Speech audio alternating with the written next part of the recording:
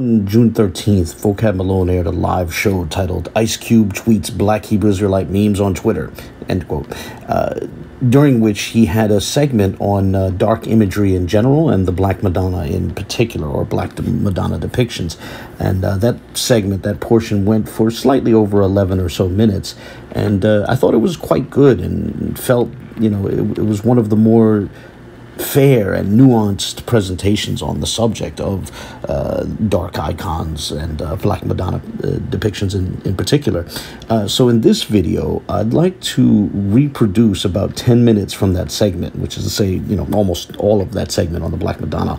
Uh, now, I'll add some images and maybe a caption to help with illustrations, and I'll have a bit to say near the beginning and again at the end, but most of what will appear here will just be vocab's presentation on the subject as it appeared in that uh, live show from back in June. So we'll pick up at about an hour and 13 minutes into the video. I think it's time to talk about Black Madonnas. I think it's time. Darker iconography, okay? It is a part of Catholic art history. That's a fact. And guess what? Roman Catholics know it. So do Protestants, at least the ones who are the iconoclasts, especially. All right? It's not a surprise. It's not a, a big secret like the Hebrews like to, like to try to act sometimes. They act as if they're uncovering hidden secrets. No.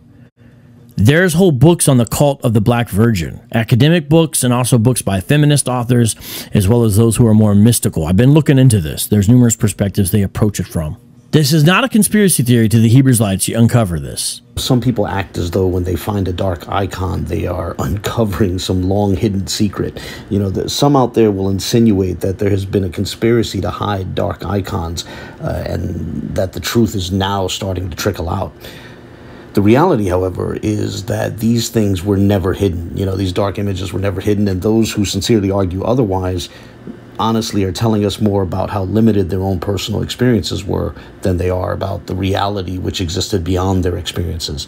Uh, now, as a disclaimer, I'm not trying to disparage or disrespect anyone, uh, so I'll put it this way if you grew up in like let's say some rural part of the country i can understand if your experiences with christian art were limited. However if you grew up in a place like new york city or you know the northeast in general then there were honestly dark images all around you. And you know if you didn't see them if you never encountered them that might speak more to what i was saying. It might speak more to the, the limitations on your own experience not what actually existed in your environment. Uh, but I'll, I'll share a few examples uh, in the in the 80s, I personally saw processions of a statue of uh, you know a replica of Our Lady of Montserrat uh, outside St. Brigid's Church on Avenue B in Lower Manhattan. So you know, try to, for those who are familiar with Lower Manhattan and the Lower East Side, try to imagine people carrying a statue of the Black Madonna of Montserrat around Tompkins Square Park. Uh, aside from that, on East 13th Street in Manhattan, there was a storefront shrine to the Sicilian Black Madonna of uh, Tindari. Uh, it was there for decades, for most of the 20th century, and uh, that block even held a feast every September, right up until the end of the 70s, right up until the end of the 1970s. Uh, aside from that, uh, inside St. Patrick's Cathedral, uh, which, by the way, is the seat of the Archbishop of the Archdiocese of New York, there's a shrine to the Black Madonna of Czestochowa, again, whose feast day is today. And that isn't something from the past. That shrine is there at St. Patrick's Cathedral right now, today. Uh, then, aside from that, there's uh, St. Stanislaus Church, which is on uh, East 7th Street in Manhattan. Uh, when you go inside that church, you'll see that the centerpiece above the altar, right at the front of the church, is an icon of the very same Black Madonna of Czestochowa. And uh, I want to reiterate and emphasize that the icon of the Black Madonna is not tucked in some side chapel. Rather, it's at one of the most prominent spots right at the front of the church. You know, it's the, the entire congregation is facing in that direction. And then, you know, if we go beyond New York, there's the National Shrine of Our Lady of Ch- Czestochowa, so a national shrine dedicated to the Polish Black Madonna in uh, Doylestown, Pennsylvania. It's this large shrine dedicated to the Black Madonna has been there for decades, And uh, it's not an insignificant place. You know, on the contrary, when the shrine was first dedicated in 1966, the President of the United States, Lyndon Johnson, attended the dedication ceremony. And then, if you go on a little 45 minute drive from the shrine of the Black Madonna in, uh, in Doylestown, you can reach uh, Philadelphia's Cathedral Basilica of Saints Peter and Paul, the depiction of La Virgen de Guadalupe, uh, which you see here. And uh, by the way, on an interesting side note, the Mexican de- depiction of La Virgen de Guadalupe is actually named after a Black Madonna depiction in uh, Extremadura, Spain, uh, which was the subject of uh, you know, some of the sorts of medieval legends of miraculous protection that Vocab will mention later on in this video. I want to briefly touch on the issue of popes and the Black Madonna because, you know, there's certain folks on the internet who they'll, they'll show an image of a pope before a Black Madonna depiction and declare something along the lines of, look what the pope does in secret, you know, but the reality is, is that such photos were not taken surreptitiously, you know, they weren't taken by secret cameramen or something like that. Rather, the Pope is almost always at a well known public shrine. You know, uh, let, us take, for example, the current Pope, uh, Pope Francis, showing honor to the Black Madonna of um, Aparecida in Brazil. So this was far from some sort of secret or private act. Rather, he did so at one of the largest churches in the world, the Basilica of the National Shrine of Our Lady of Aparecida in Brazil. And uh, I'll play a clip, and as you watch it, note how large the church is and how many people are in attendance. You know, a, a secret known by thousands of people and transmitted around the globe is not actually a secret, it's just news. We don't know unless they specifically say the intention of any particular image maker. We just don't know. Now, there's Catholic legends that a lot of these Black Madonnas were actually made by Luke. Yeah, Dr. Luke, the one who wrote Matthew, Mark, Luke, John, author of the third gospel, as it's called. That he made a bunch of them, and then in some instances, Peter later transported them. I don't buy into these Catholic legends. There's no historical reason to. But they try to say, the, the Catholics, that Luke actually made some of them. But in reality, we don't know most of these people, especially when it comes to icons. Icons, especially in the Eastern tradition, are not supposed to be signed because they're not considered paintings. The icons in the Eastern tradition, now I know we're talking about icon statues, there's different things here, right? Uh, in the Eastern tradition, are actually considered to be written and it's supposed to be exegeted. You can actually find instances where there will be Catholics or Orthodox guys who will bring up a painting beside them, an icon, and actually preach from it as if it's a text. I've seen this, it's online. That's the way they view this. So we have to realize there's a deeper thing about how to read these going on for the Roman Catholic and Eastern Orthodox traditions, okay? I don't agree with it, but that's a fact, okay? We don't know a lot of times, most of the time, hardly ever, who made these when they were made for sure, so it ends up with speculation. So, with that, what can we say? Number one, some were deliberately painted dark. That is true. Now, there's a variety of reasons. Let's give possible reasons. One possibility, of course, is the most obvious that the artist guessed that the given subject looked that way meaning the artist thought the person they were portraying was dark like that. So the artist would assume the subject, Black Madonna or Christ in this case, were dark skinned. There is a long and widespread history of Black Madonnas and Black Christ depictions. Uh, Boo has a family member, like I said earlier, who's actually done research on the medieval Spanish opinions on this subject. It's kind of fascinating. There are some clergy during that day who thought the darker depictions were more authentic and some of them even transmitted these legends about some of these images being miraculously miraculously protected from touch-ups. I kid you not. And during that medieval period, there are some people in Spain who had thought that the certain darker depictions of Mary were more authentic, basically. Some thought that these darker depictions would be miraculously protected by God or could protect you. There's uh, an example, I guess, that you can find if you look through the literature that I'm aware of that a soldier would run into the run into battle uh, versus Muslims holding a black Madonna image instead of a sword, and then attribute victory to the image being on the battlefield, and then that would be cited as evidence for the authenticity of the image. This is the medieval era we're talking about. What's another reason they might be darker? Sometimes they were originally made black in this way because in the Middle Ages there were theologians who supported uh, a allegorical or mystical understanding of song, uh, song as in Song of Songs or Song of Solomon. I'm, I'm, not trying to say psalm; it's hard to get out of my mouth. Songs one five. They would say that it mystically refers actually to Mary, and so, for example, talking about Sicily again, there's a Sicilian Black Madonna in Tindari. It literally quotes Songs one five on its base. You can see it. Et famosa. Nigra sum et famosa. There's a medieval Iberian practice that's Spanish and Portuguese of interpreting songs one five, applying to the Black Madonna, and uh, so you can find it in Italy and Spain. And uh, I just mentioned one at the shrine there, of Black Madonna in Sicily.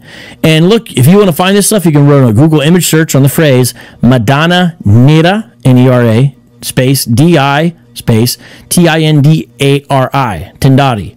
The English equivalent is the Black Madonna of Tindari, or a variation. And you'll get lots of pictures of that famous statue. And you'll see on the base of the statue in Latin, Nigra sum sed formosa. Uh, wait, yeah, um, yeah, yeah. Oh, I, I, um, I mispronounced one of the words earlier, but uh, you get the same idea. That's uh, basically the ancient Latin Vulgate translation of "I am black but beautiful." And so some of the clergy, as I mentioned, especially the Spanish and Portuguese one, thought that these were more authentic and they would apply Song Song uh, Song of Solomon 1.5 to it. It's a very uh, highly allegorical interpretation uh, of the text, obviously, and basically makes this this this wife of Solomon a cryptic prophecy about the Black Madonna, which would be uh, inaccessible to the average reader. But they saw this black and beautiful reference as uh, literal, basically, and so. Um, it actually says black but beautiful if you read the text, but some of them made it uh, uh, different in the way they actually worded, which is black and beautiful. Now, I discussed the most obvious way. Um, these are just the facts that we know from speculation, what we can try to gather. And the next one is true. My guess is the second I mention this, this will become the whole topic that all Hebrews like to talk about. But the fact is, it's true. Okay, it's just a fact. The, the other reason potentially why some of these are darker, I said some, this is more relates to the icons, is through the is through the process of oxidation, accumulation of soot. Those two things. It is true that some of the older icons really did darken over long periods of time of sharing a space with candles and incense. Because guess what? Smells and bells the Catholics and especially the Orthodox I got all this other stuff going on and it affects the surface. Now, um, the candles and incense can have different effects on different colors. And actually, there's a video online that you can watch. I might try to post it later. And uh, when these accretions get removed, it has a more dramatic darkening effect sometimes uh, they can tell once it's removed on like a peakish beige color uh, which is employed for the depiction of skin but but then it doesn't affect other things the same way. Now some people are going to say oh that doesn't sound right but it's just the facts. I have a friend who talks about when he moved into this little apartment that uh, he burned a lot of candles and incense over a five year period and it dramatically altered the light beige walls in the house, but had no effect on darker items in the house, like his cupboards.